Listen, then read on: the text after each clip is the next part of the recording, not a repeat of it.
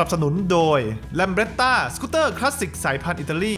ช่วงก่อนหน้านี้นะครับ ทางเว็บไซต์ชื่อดังของญี่ปุ่นอย่าง young-machine.com ได้ทำการปล่อยภาพ render ของว่าที่ Kawasaki Z400RS รถมอเตอร์ไซค์บิ๊กไบค์ทรงคลาสสิกรุ่นใหม่ ซึ่งคาดการว่ามันจะมาในพิกัด 400cc แบบ 4 สูบเรียง ที่มันอาจจะมีโอกาสเปิดตัวกันในช่วงปี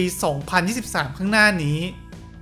โดยรถมอเตอร์ไซค์ในตระกูล ZRS จากทาง Kawasaki ปัจจุบันนั้นก็คือจะมีในรุ่น Z900RS แบบ 4 สูบเรียงนะครับ แล้วก็ Z650RS ในแบบ 2 สูบเรียง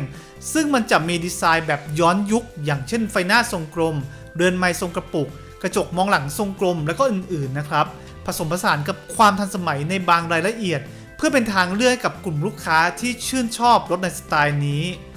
และก็มีความเป็นไปได้ล่าสุดว่าวาที Z400RS คันใหม่นั้น กลับดูเหมือนจะมีแนวโน้ม ที่จะเลือกใช้เครื่องยนต์แบบ 4 สูบเรียง จากที่ก่อนหน้านี้เคยมีกระแสข่าวว่าจะใช้เครื่องยนต์แบบ 2 สูบเรียง จากรุ่นนินจา 400 ซึ่งเจ้าเครื่องยนต์แบบ 4 สูบเรียงในพิกัด 400cc นั้นนะครับมันก็จะเป็นเครื่องยนต์ลูกเดียวกันกับที่จะใช้ในรุ่น ZX4R ทรงสปอร์ต Full Fairing ที่คาดว่าจะมีการเปิดตัวในเร็วๆนี้เช่นกันครับ อย่างไรก็ตามเราคงจะต้องมาติดตามกันต่อไป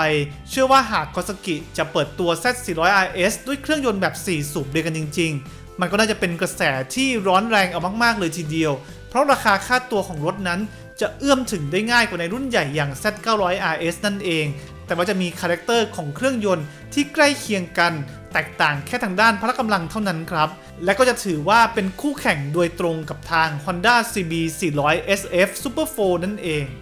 สนับสนุนโดย Lambretta สกูตเตอร์คลาสสิกสายพันธุ์อิตาลี